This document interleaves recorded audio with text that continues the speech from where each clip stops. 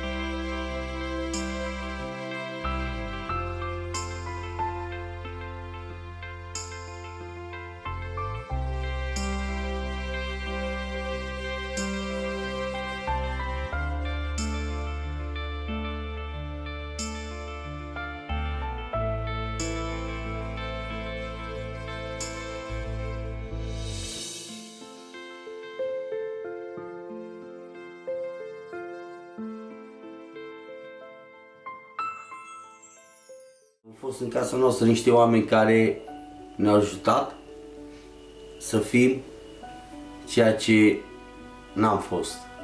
Și nu, fără ei nu putem să fim Chiar. ce ne-am dorit. Am făcut casa asta datorită lor. Fără ei nu avem nimic. Fără Imogen și fără Palaș. Ei au fost pentru noi niște îngeri. Ăsta e adevărul, frate. Fără voi, Bă, oamenii, frate. Noi am nu, lucrat cu oamenii. ascultă-mă. Știu că am ajutat și noi la rândul nostru, cum am ajutat și oamenii, cum o să ajutați și voi la rândul vostru pe alții. Și nu trebuie neapărat... Bă, nu știu dacă noi putem haideți aici, financiar da. să... Bă, nu contează, nu trebuie neapărat financiar. Eu vreau să zic ție că fără voi, fără tine, fără Palaș.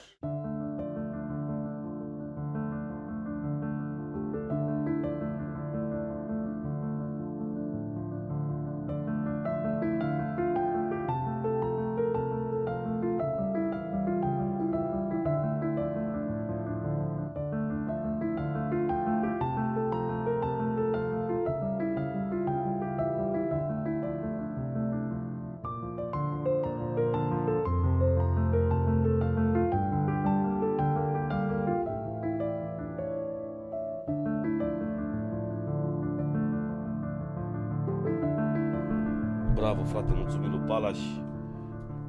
Mulțumim mie, mulțumim comunităților a mea, lui Palaș, mulțumim oamenilor care nu se uită pe YouTube și au venit și au donat, mulțumim oamenilor care au donat, mulțumim oamenilor care au dat share, mulțumim oamenilor care uh, uh, au fost mișcați de uh, caritabilul ăsta și au dat din puțin ori, că poate mulți chiar n-au avut și au dat din puțin ori. În următoarea dată 72 de ore bag, ești nebun la cap direct. Găsim un caz 72 de ore și aia e.